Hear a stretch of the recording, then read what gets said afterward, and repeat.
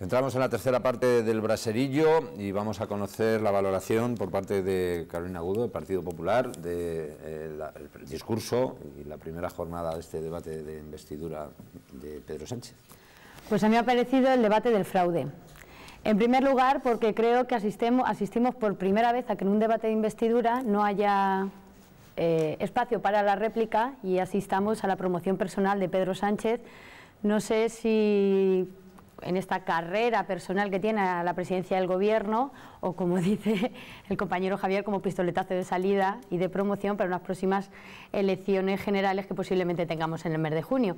Y por otro lado, porque aunque muchos lo quieran olvidar, está, eh, se va posiblemente, o no sabemos, investir de presidente del Gobierno de España por primera vez a un candidato que no ha ganado las elecciones. Entonces, por eso yo creo que se ve abocado al fracaso, porque ni cuenta con apoyos ni lo va a tener. Y mañana lo vamos a ver y posiblemente el próximo día también, porque es que Pedro Sánchez todavía no ha dicho a los españoles qué proyecto tiene para España ni con quién quiere gobernar y lo estamos viendo. Primero, se dedicó a, escuchar a Podemos, a ese reparto de sillones que le imponía el señor Pablo Iglesias.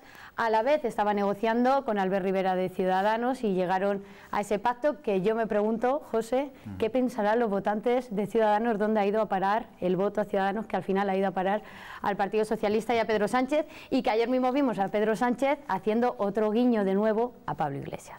Por, lo tanto, no sabemos ni qué proyecto tiene ni con quién quiere gobernar.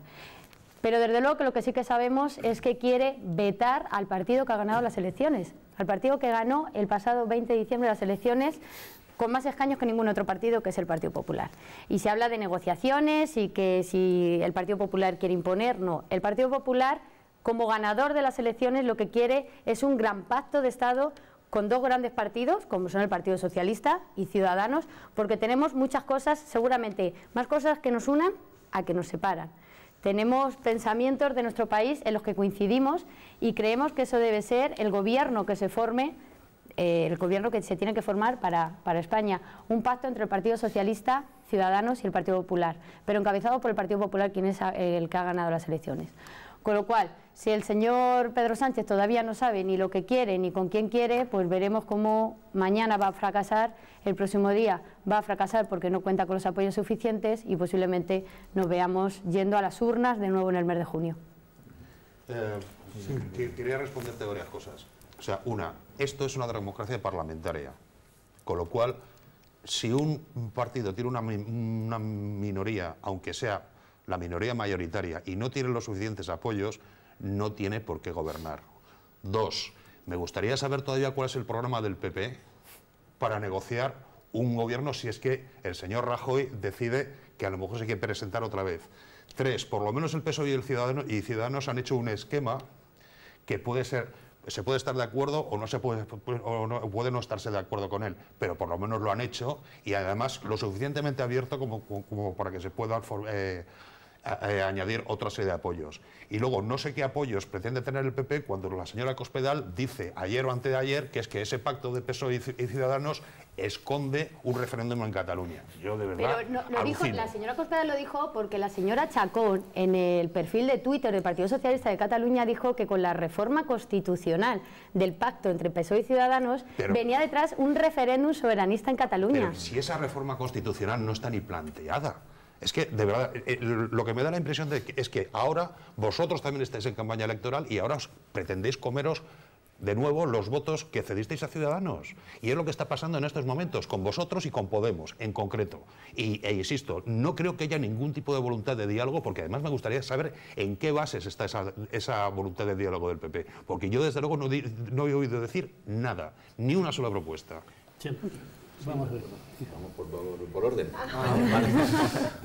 no, no te salido el orden, porque tocaba a mí. Ah, sí, es verdad, te tocaba a ti, perdón.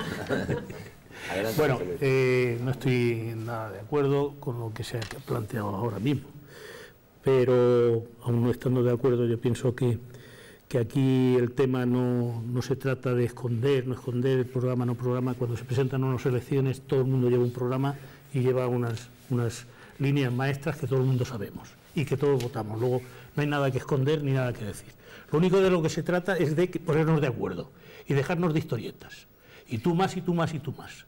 Aquí se trata que el Partido Popular se ha presentado con un, con un programa, ha sacado 7 millones, que el PSOE se ha presentado con otro programa en muchas partes parecido y que ha sacado 5 millones, que eh, Ciudadanos o Podemos se ha presentado con otro programa, ha sacado 4 y tal. Eso es lo único que realmente está encendido en la mesa. Y en cuanto a los pactos, es tan sencillo como que están los dos líderes de los partidos que han sido en este país mayoritarios escupiéndose la cara y nada más. Hay un enfrentamiento personal personal que estamos sufriendo todos los españoles. Y entonces, ver lo que yo digo desde aquí, como ciudadano, que se podían ir a hacer puñetitas. Ambos. Ambos, ambos, ambos. Hombre, tampoco creo que sea un enfrentamiento personal cuando Pedro Sánchez está poniendo todo su empeño en que haya un gobierno estable y haya un gobierno progresista. Pero no se sienta nadie al lugar. Pero si no ha hecho otra cosa. Desde el día 21 de diciembre no ha hecho otra cosa. se ha sentado con, todo el mundo. que tienen 7 millones de votos. Se ha sentado con todo el mundo. No ha hecho otra cosa más que intentar intentar lo que todos estamos esperando, que haya un presidente por la del gobierno. nocturnidad a alevosía o nadie nos hemos dado cuenta de eso. ¿eh? Que se sí. ¿Cuándo se ha reunido con el, con el PP para dialogar? Hombre, con el PP es que es imposible, es que es como ah, fuerzas opuestas. Pues. es que es entonces, no me digas que se han reunido. que fue cuando le negó la mano. ¿Eh? Claro, es verdad. Después de decir 20 veces que no. Que se reunieron, se reunieron. Cuando, cuando Rajoy... Eh, Somos mayorísimos. Gracias. gracias. Eh, en cuanto a lo que ha dicho Carolina, que Rajoy eh, que sabe lo que quiere, que lo tiene muy pues es que nos encantaría a todos saber qué es lo que quiere, porque yo creo que solo lo, sabes tú, porque es que él, yo creo que todavía no se ha enterado, tiene esa agenda tan libre en la que no hace nada, está, está como esperando eso, a, que, a que no haya nada para volver otra vez a aparecer detrás del plasma y no hacer nada otra vez, que es lo que ha hecho durante estos cuatro años, y está expectante. Y yo creo que es el momento de, dar el paso adelante y de de asumir la responsabilidad que estamos todos esperando. Y, y, es lo que está haciendo Pedro Sánchez, y es que no hay más vuelta de hoja, es ese diálogo, esa mano tendida, que en este caso con Ciudadanos, que ideológicamente puede... No, no, son, no, no se encuentran, pero han querido, han querido hacerlo y han querido formar un pacto para que haya un gobierno en la nación. Yo creo que es, eso es muy loable. Eh, quien se ha querido sumar, se ha querido sumar y quien se ha querido retirar, se ha querido retirar, como en este caso eh, que Rajoy, que otra vez el Partido Popular está en esa campaña electoral en la que constantemente están azuzando ese miedo que parece que les va bien, no lo sé, pero no hace ningún bien a nadie y menos a, una sociedad tan inestable como, como tenemos ahora, ese azuzar el miedo. Es que quieren la independencia de Cataluña, es que no han dicho nadie nada de eso y es un, ese constante miedo que se azuza no, no viene bien a nadie. Y, Pedro Sánchez sí que ha mostrado diálogo desde el, desde el día 21, está, está mostrando ese diálogo y, eso, y esos pactos y esas alianzas que son necesarias para tener un, un gobierno, un gobierno progresista. Es que no podemos mirarlo desde como queramos, pero es que esa es la, la realidad que puede salir bien, ojalá, ojalá porque nos irá bien a todos, porque tendremos un, un gobierno con, muchísimas fuerzas que podrán estar plasmada toda la realidad de España, pero si no, pues otra vez tendremos esta inestabilidad que pues al final saldremos todos perjudicados. Me voy, cierro la puerta, doy un portazo, apago el móvil y luego me cabreo porque no me llaman. Eso es lo que ha hecho el Partido Popular en este, este último periodo. Eso es lo que ha hecho el Partido Popular, que, insisto, declinó el ofrecimiento del jefe del Estado para formar, para formar gobierno. Nadie le ha vetado. Rajoy ha inventado un nuevo concepto que es el autoveto. Él mismo decidió que no quería dar ningún paso. Legítimo. Lo que no puede hacer ahora es dedicarse a boicotear eh, y a menospreciar a aquellos que lo intentan. Yo creo que lo intentan por un camino equivocado. En este caso, el Partido Socialista lo está intentando por un camino equivocado, pero ese es mi punto, mi punto de vista. Lo, intenta por un camino equivocado, además, que yo creo que es eh, triste que después de treinta y tantos años de democracia aún no lo haya entendido el Partido Socialista, que sus bases, que sus votantes, que sus militantes, al menos una mayoría, son gente de izquierdas y que no entienden ese mito del centro que tenemos inventado en este país, eh, que en realidad no existe eh, y que debe estar, por cierto, llenito, porque Ciudadanos es de centro, el PP es de centro derecha y el PSOE es de centro izquierda, no debe caber nadie más en el centro, ya debe estar el centro lleno, lleno de gente. ¿no? Pero eh, no es verdad que se le haya excluido al Partido Socialista, él se ha autoexcluido directamente, el, PP, perdón, se ha autoexcluido directamente. ¿no? Yo insisto, toda la legitimidad del mundo faltaría más al Partido Socialista para que pacte con quien crea que debe de pactar, en este caso con Ciudadanos. Eh, me parece fantástico, pero no es suficiente es evidente que no es suficiente, y eso ya lo sabían antes de empezar, esto no es una sorpresa, no es que al final de la negociación dijeran el PSOE de Ciudadanos, y oye, por cierto, ¿tú cuántos diputados tienes? Eh, cuarenta y tantos, anda, pues no me llega, no, no, eso ya se sabía antes de empezar. Entonces yo como en este afán de siempre poner alguna nota positiva, yo quiero aprovechar las cámaras de, de Teletoledo de la regional para invitar desde aquí a Pedro Sánchez a Toledo, a que venga un día al Ayuntamiento de Toledo y vea cómo el Partido Socialista de Toledo, que tuvo, por cierto, los peores resultados en todas las elecciones municipales en 30 años, se sentó con las fuerzas de izquierda de este país, que entonces de esta ciudad, perdón, que representamos, ganemos Izquierda Unida, donde estaba Izquierda Unida, pero donde había también movimientos sociales, colectivos y gente de otras sensibilidades políticas, y hemos llegado a un acuerdo de gobierno que con sus imperfecciones, sus problemas y sus cuestiones, está haciendo que esta ciudad esté gobernada todos los días. Y no ha pasado nada, porque en la izquierda no somos fantasmas, ni tenemos eh, cuernos, ni tridente, ni nada por el estilo. Entonces, que no se deje el Partido Socialista amedrentar por los espantajos del miedo que azuza el Partido Popular, acompañado además de mucho ruido mediático. Que no pasa nada, que se siente, que hablemos, que el fondo del Partido Socialista yo quiero pensar que es un partido de izquierdas y que si mira hacia la izquierda encontrará casi casi la mayoría suficiente para gobernar y el resto ya iremos apañándolo poco a poco. Pero que esa posibilidad existe. Así que desde aquí, si me lo permites, invito a Pedro Sánchez a que se venga a Toledo y que tome ejemplo de lo que hemos conseguido hacer. En un braserillo, ya de paso. Que participe en un braserillo. una entrevistita. o una entrevista. ¿Por qué no? A ver, yo por responder un poquito a Javier, creo que el Partido Socialista primero miró a la izquierda. ¿eh? Primero miró a la izquierda y lo que se encontró, por suerte o por desgracia, fue que en vez de sentarse a negociar puntos en común o no, se encontró con alguien que le había formado un gobierno y dónde se tenía que sentar cada uno. Yo creo que eso es una forma malísima de empezar cualquier tipo de negociación, decir, bueno, pues ya... estamos de acuerdo. Por eso, entonces, eh, una vez que, ha visto que desde Podemos a lo mejor las formas no han sido las correctas o que no podrían llegar a acuerdos, hay más partidos y más representación en el Congreso, entre ellas están Ciudadanos, que han entrado con cierta fuerza, o más o menos, eso es mm, eh, valorable, pero que sí que nos encontramos en un centro. Tú dices que estará saturado o no estará saturado. ¿eh? Sí, puede, puede, puede estar, pero a lo que me refiero es que sí que es un centro real. Nosotros no creemos que las políticas de ayuda a los autónomos o a los empresarios estén reñidas con políticas sociales agresivas y que ayuden. Eh, vamos, no creo que nadie esté en contra de lo que estoy diciendo. Yo creo que ese eh, centro sería más decir, decir, yo creo que hay gente que no se identifica ni con la derecha ni con la izquierda. Efectivamente, efectivamente. y, hoy en día es ni es del PP ni es del Partido Socialista. Y hoy en día es el pan de cada día. No podemos confundir votantes con militantes. Claro. No.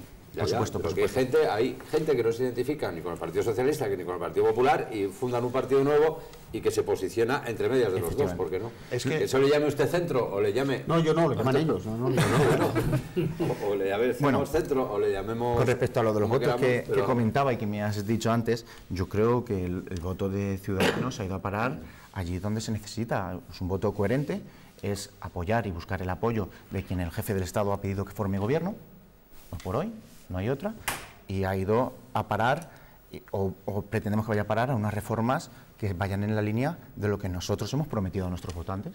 Ni más ni menos. No creo que se haya perdido o que nuestros votantes estén a disgusto por este pacto, todo lo contrario.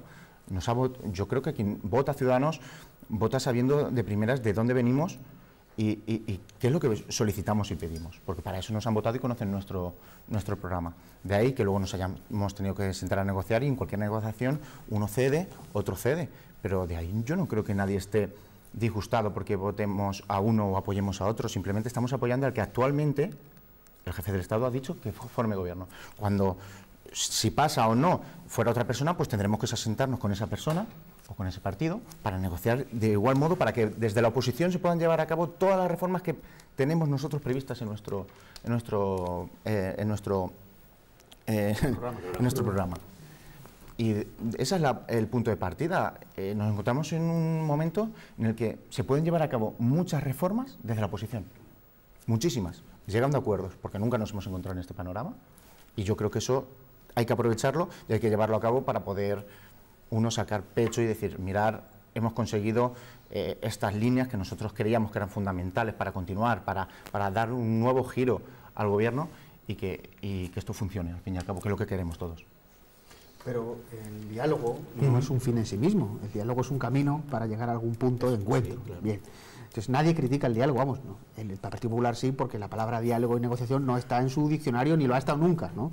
Antes decía José Luis, falta diálogo con los que han votado 7 millones de personas, pero si es que no saben lo que es dialogar, no lo han sabido nunca, jamás en la vida. ¿no? Pero es una forma de gobernar, oye, hasta ahora a ellos les ha ido bien electoralmente y ahora parece que no tanto. ¿no? Nadie critica el diálogo entre dos fuerzas políticas como el Partido Socialista y Ciudadanos, nadie lo critica.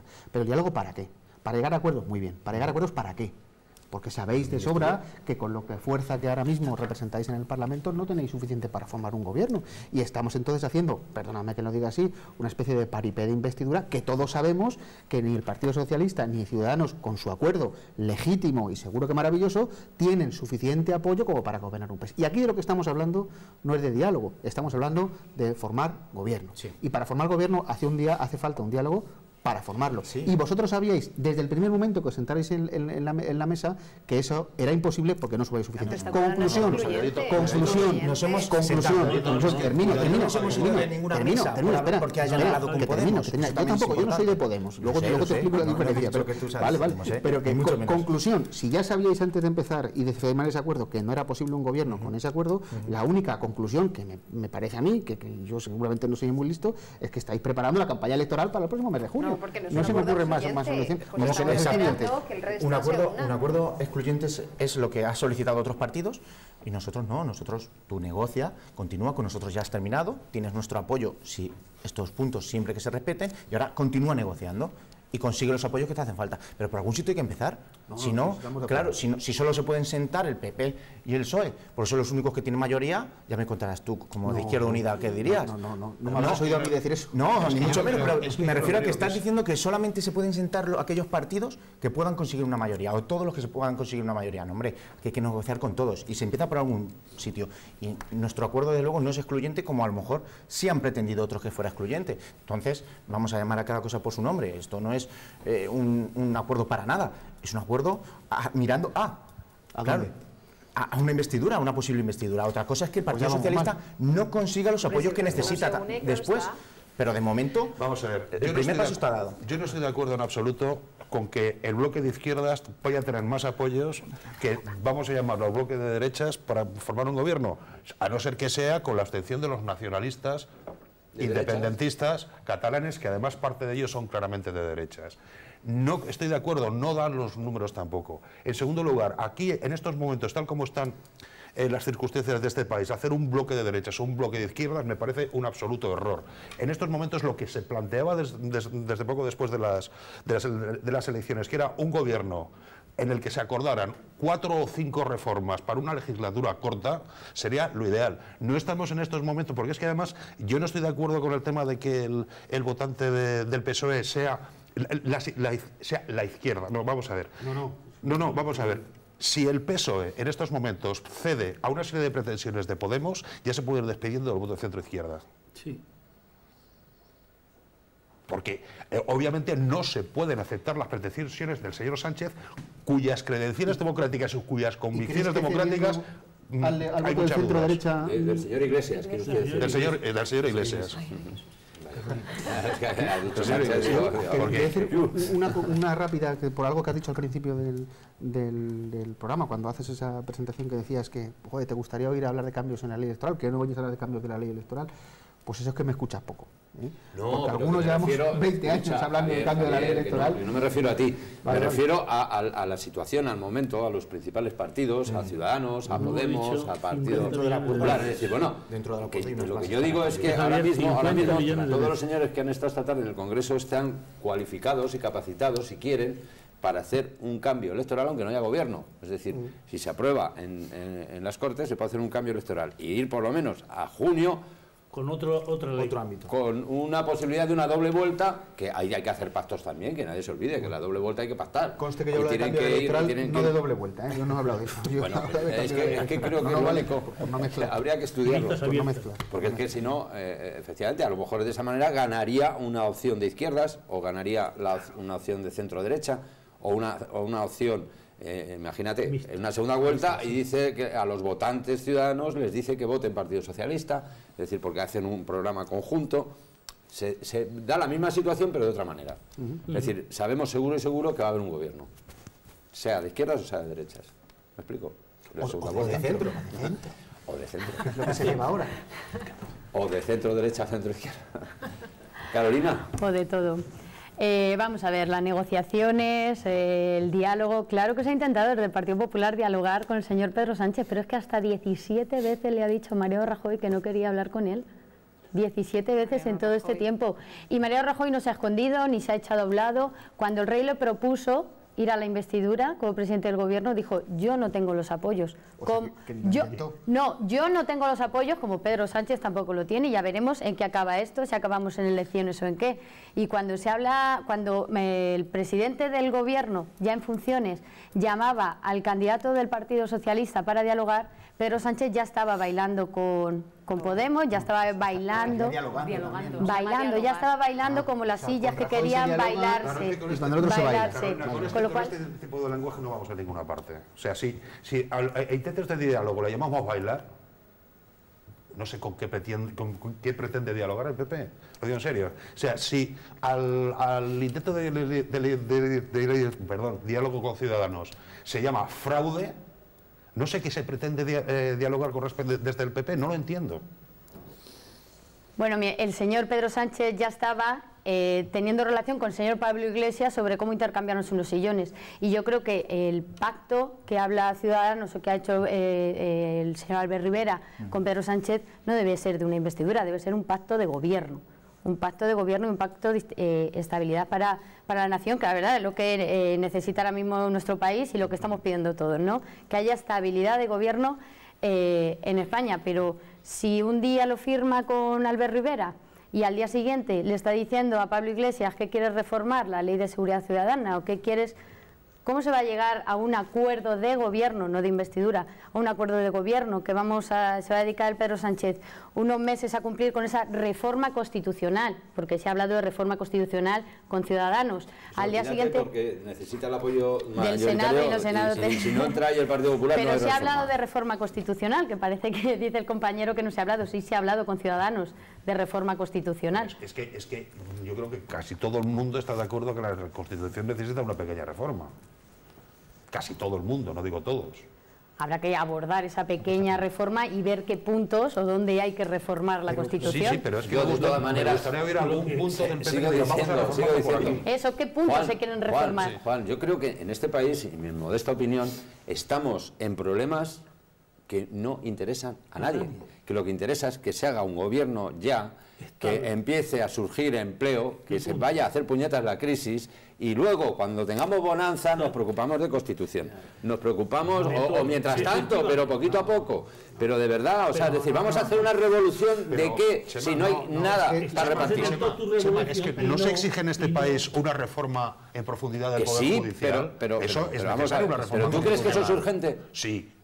Sí, porque tenemos un problema de corrupción muy gordo en este país y porque tenemos y porque tenemos y porque no lo vas a seguir teniendo. y, porque tenemos una y tenemos unos organismos del poder judicial nombrados por los partidos. Y eso tiene que desaparecer por completo. Sí sí estoy pero, pero es que si el punto de partida está muy bien. Como titular está muy bien. Pero yo como buen periodista sabes que después de titular tiene que venir la entradilla y el meollo del texto y tú y lo que parece que se está diciendo cuando está diciendo el Partido Popular es siéntense a hablar conmigo para solucionar los problemas de España. Yo que parece ser eh, que en Valencia me he dedicado a hacer que construía colegios públicos para llenarme los bolsillos. Hombre, vamos a ser un poco serios. Vamos a ser un poco serios. Claro que hay que llegar a acuerdos con todo el mundo, claro que hay que contar con los 7 millones de votantes del Partido Popular, pero difícilmente nos puede exigir a los demás que nos sentemos con alguien que está marcado literalmente por la corrupción en este país, literalmente por la corrupción. Pues señores del PP, hagan borrón y cuenta nueva, hagan refresco dentro de sus, de, sus filas y a lo mejor podemos empezar a entender que podemos sentarnos a hablar, pero en esas condiciones, con quien ha puesto encima de la mesa la 11, con quien ha puesto encima de, la mesa la reforma laboral, con quien se ha cargado los derechos sindicales en este país, es muy difícil de sentarse a, a entre otras cosas, porque han aprovechado su mayoría absolutísima para cargarse un montón de derechos que ahora algunos queremos poner encima de la mesa otra vez. Con esos son los que tenemos que dialogar. Pues mire usted, yo lo siento en el alma, pero mm, creo que no tenemos ni un solo punto en común, ni uno. Ni uno. yo no digo que dialogues. pues ya está. Yo, no te estoy acusando de dialogar, ¿no? No, no. Yo, yo lo que veo es que volvemos a lo mismo. Estamos eh, enrocados y nos enrocamos y, venga a enrocarnos sobre las mismas ideas. Efectivamente, Aquí hay... Perdona, tenemos que ir a publicidad. Y, y ahora me la palabra. Venga, vale. Ahora volvemos en la última parte del programa. Será dentro de unos instantes, no se vayan hasta ahora.